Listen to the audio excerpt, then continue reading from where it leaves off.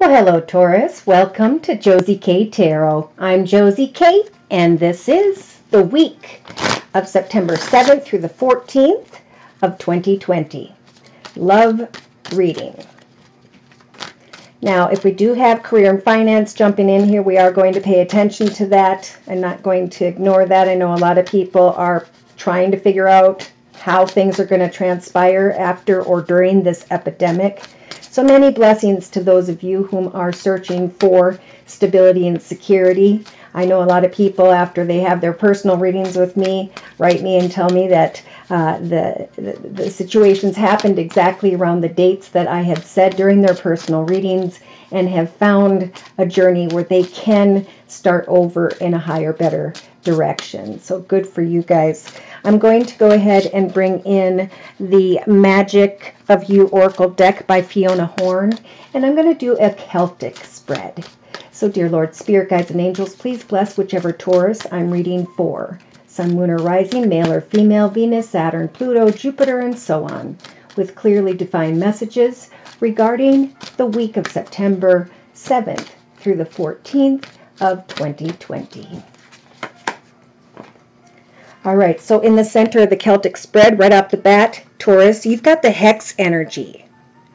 So this is about you walking in your highest, best path, but very clearly being able to detect an enemy, someone who could affect your beautiful journey.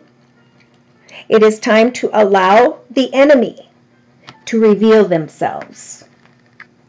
So it's a time to sit contentedly Give thanks to your current foundation, circumstances, and situation, and allow those whom have negative energy to reveal themselves just by watching and not taking action is the message here in the beginning of the week of September 7th of 2020 Taurus. Now in the thoughts position, we have Lavaria. Let love grow. You are coming back together and you are blooming with this lily type energy. So as you continue to let love grow, with number 14, number one being a new path, number four having to do with a solid foundation in your life. Let love grow so you can connect with those who really love and care about you. For in the foundation, you have serendipity. Merge with the flow. It's time to get back in the game again. And spirit with the number 30. As you observe others, figure out how you're going to create a beautiful life that will flow exactly how it is you'd like to see it go. Yeah, because in the past, recent past, we have the detox card. We have a Taurus that chose to follow Spirit's advice and they cleansed and restored themselves. They freed themselves from that which was unhealthy. And Spirit has been nudging you or will be in the beginning of the week to let love grow while allowing the enemies or enemy to reveal themselves. Go with the flow now that you are cleansed and let real love grow, not those who may try to fool you, is the advice. So, in the first, let's see, from the seventh to the ninth, we have translucence. This is about falling in love with the darkness a moment of pause. Number 33. Three is the Holy Trinity, Father, Son, Holy Ghost. When there's two threes, Spirit saying, We brought you from a blessed journey that was difficult, where maybe you did allow the enemies to come in your life, but now you are cleansed. Now you can allow this dark moment of transformation. For when it is dark, as you pray to allow real love in your life and go with the flow of a new beginning. 3 plus 3 is 6. 6 will represent success. Some of you will be connecting by the end of the week with others. We got three plus three is six here, and it, com- coming together with others who are going to help lift you up, right? The light is going to come into your darkness if you will just let love grow and merge with the flow now that you are cleansed and restored. Once you see the enemy, know that you have the ability at this time in the actions position, Taurus, to create the tangible, to make your dreams come true. Enjoy this moment of pause, this moment of darkness. Merge with the flow and let love grow as you allow others to show you their true colors. So, in the spiritual advice position, we have effervescence. Spirit is giving you the strength to cultivate love. As you are in this moment of pause and darkness and confusion, maybe for some. Love this darkness. Start a journal and say, These people love me. These are the nice things they said or did for me.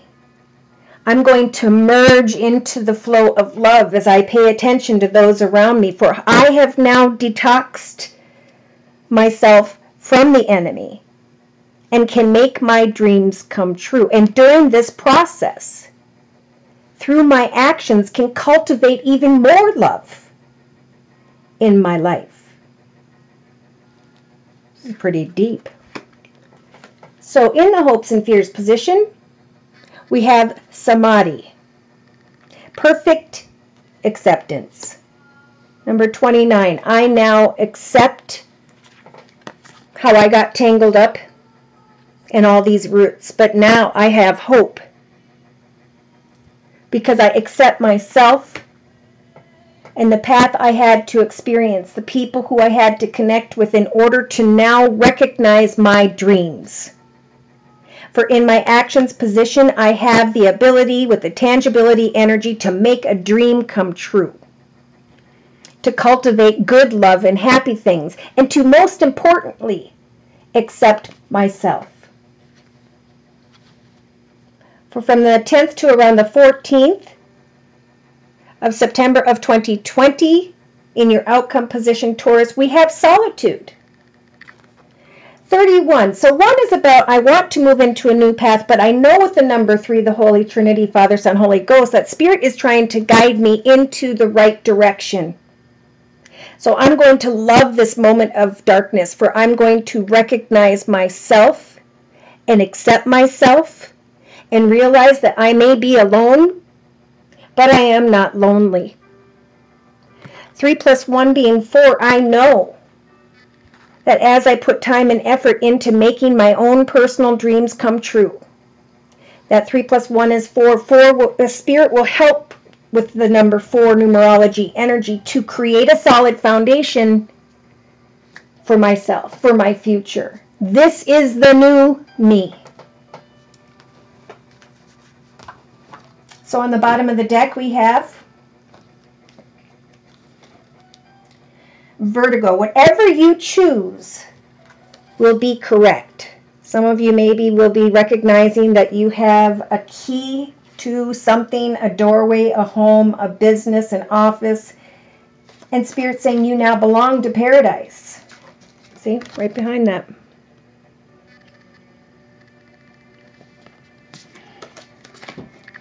Embrace oneness with the universe. Become a loving mirror. This is showing up for a lot of people.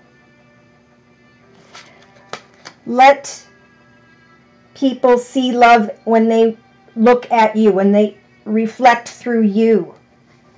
And know that you are no longer stuck or trapped. For there is a solution to every problem. Honor your mystical creative self. Look at this. Here you are. Some of you are going to be able to take off an old mask of what or who you used to be and now honor yourself. As you sit in solitude during the, that week, enjoy the moment of darkness. Cultivate love, merge with the flow, make your dreams come true as you sit in solitude for you, this process will help for you to receive this perfect acceptance energy. Oh my gosh, look at on the bottom of the deck, we have resilience to burn away the past and opulence. It's time to lead. It's time to put on a new mask. See the old mask? It had no color. The new mask is gold. Golden leaves fall around you. You can create this for yourself now. If you move forward from this detoxification and enemy energies. So for further clarification, I think I'm going to bring in the signs and or elements of those whom by which you may need to pay attention to. I'm going to bring in the Rider-Waite deck. Oh, no, I'm sorry, the Gilded Tarot deck by Ciro Marchetti. Dear Lord, Spirit Guides, and Angels, please bless whichever Taurus energy I'm reading for with further clarification, confirmation, and spiritual advice representing the week of September 7th of 2020. I don't know if this is so much about loving another, it's about loving yourself first and really using this week to create the new you and to come into perfect acceptance of who you were meant to be.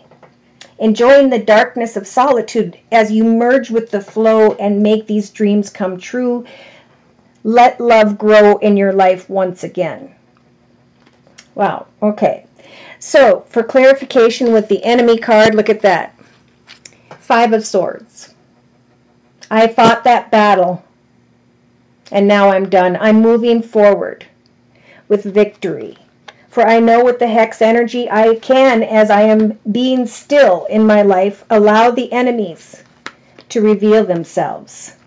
For some, you may be dealing with an air sign, Libra, Aquarius, or Gemini.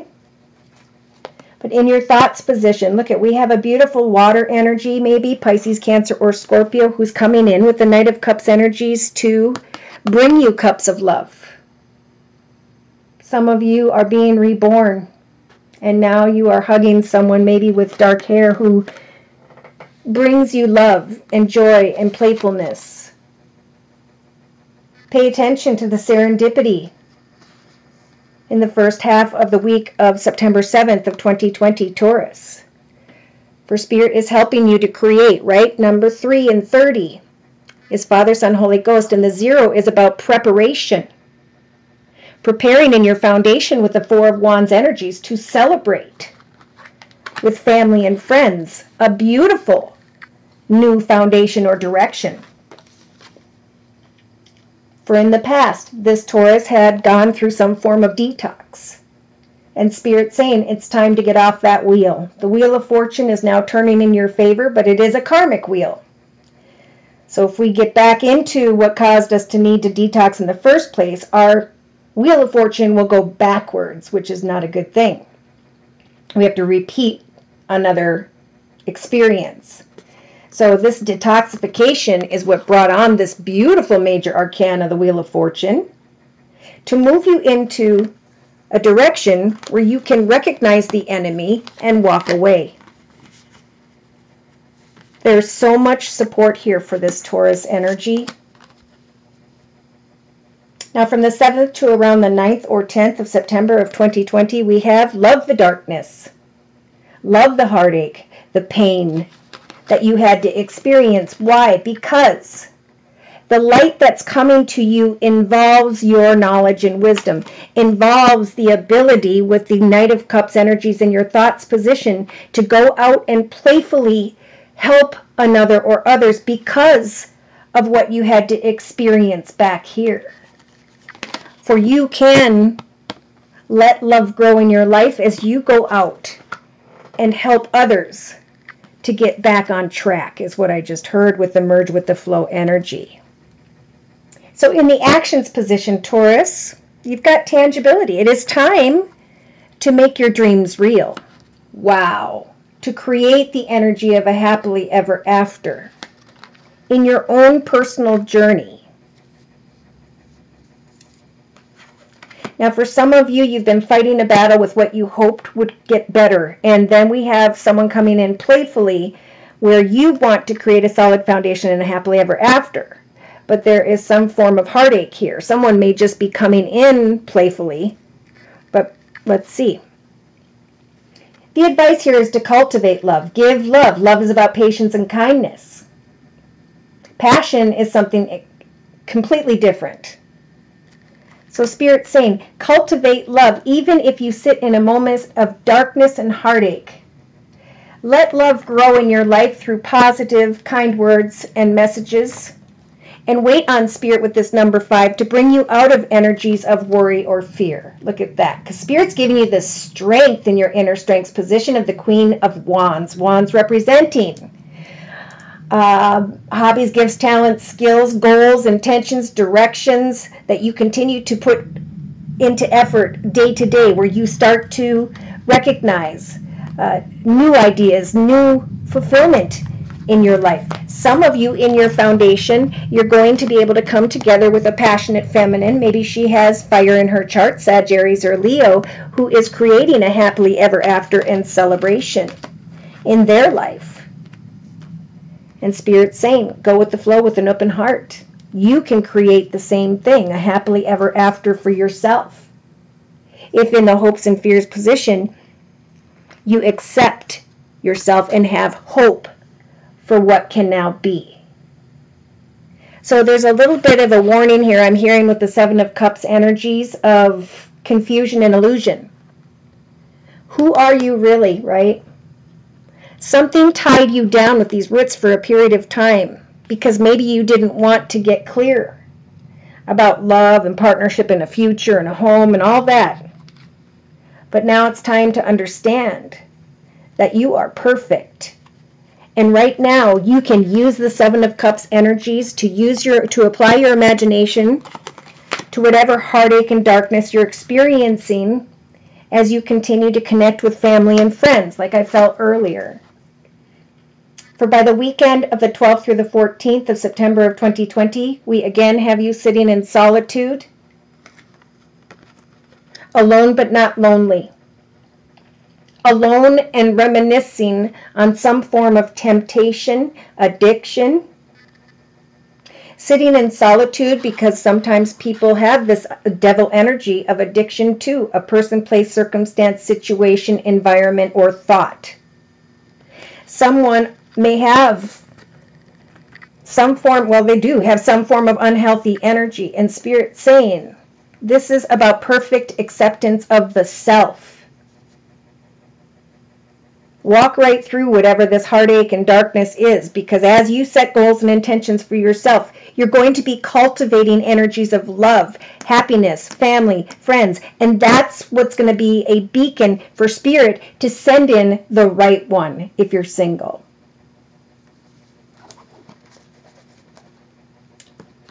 So for clarification in a three card summary here to my left in the same Gilded Tarot deck. Yeah, we have maybe a father figure and a mother figure here with the King and Queen of Swords.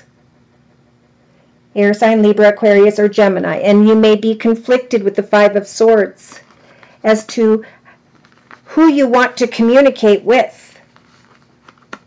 Allow the enemy to reveal themselves as you get clear with others who are dishonest, sneaky, with the Seven of Swords. It is time to use the strength energy right off the bat in the beginning of the week of September 7th of 2020 Taurus to bring something to an end. There's some confusion here. I feel somewhere around midweek of September 7th where someone may come towards you or you want to go towards another. You may be going excitedly towards someone who has water in their chart, Pisces, Cancer, or Scorpio, or some of you may want to speak your truth in some way. Someone may be coming towards you to tempt you, and you're sitting here with great hope in your heart with the moon. That during this moment of pause and darkness, you can learn from old energies of heartache what didn't work. You can now lay down an old path that you were passionate about with the Nine of Wands energies, Taurus, and you can now receive with the Six of Pentacles energy money from another or others. A wish will come true if you continue to put effort and time in day to day with the Three of Pentacles and the Star. For the Star is a major arcana, so continue to pray to Spirit as you put time and effort into creativity, uh, finances, a new direction. Watch for temptation.